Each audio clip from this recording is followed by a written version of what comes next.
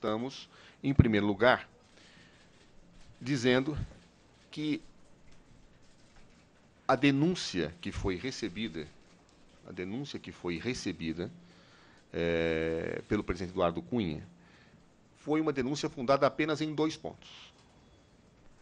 Claro, que são, respectivamente, a abertura de seis decretos de crédito adicional e a chamada situação decorrente do Plano Safra, que vulgarmente é chamada de pedaladas do ano 2015.